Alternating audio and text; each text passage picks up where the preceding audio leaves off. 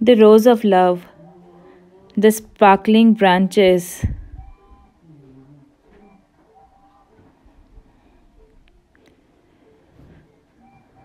a couple much in love. A woman flying with happiness in the heels of success.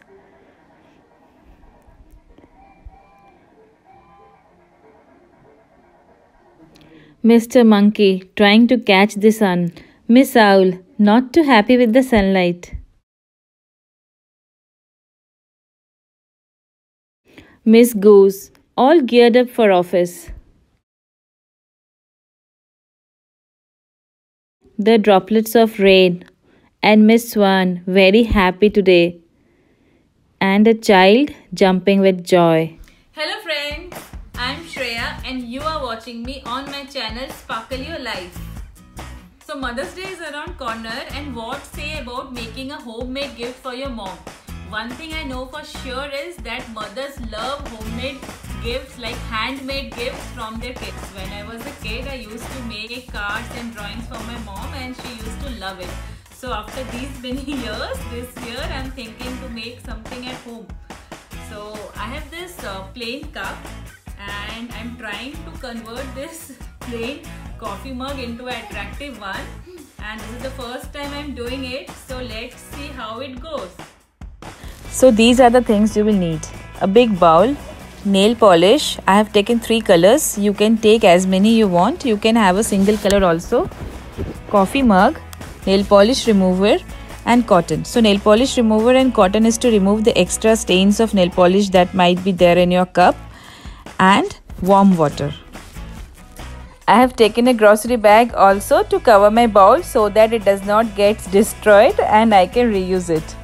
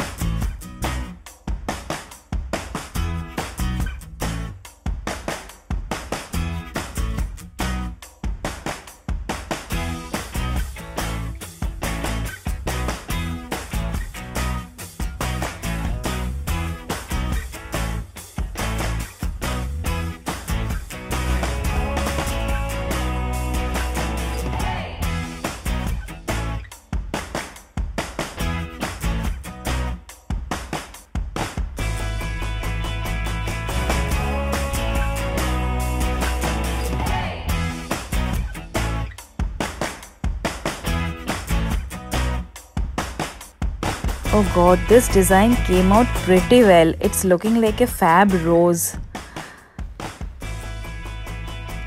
I was really scared putting this coffee mug inside this beautiful dip. So I bypassed this work to my husband and he did it pretty well. Wow. Wow, just wow. And that's why he is the better half. What say?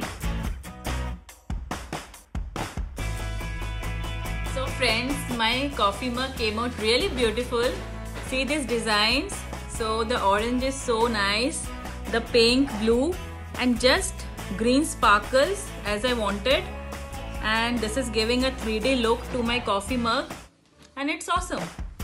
I hope my mom likes this. Nothing beats a handmade homemade gift. I'm sure for that. So friends, one more thing. If you want to make it dishwasher safe, there is something called Podmudge and you have to apply for 2-3 coats and then let it dry for around 28 days. So after that, you can wash it in dishwasher also. But before that, uh, you can just hand wash it. So I don't have Podmudge at home. So I'll ask my mom to just hand wash it. And yeah, pretty good to go. You can gift it to your mom, birthdays, anniversary. Just use it for yourself. Maybe I'm making one just for myself. Okay friends, so if you like my video, give a like, subscribe to my channel, press the bell icon. Goodbye.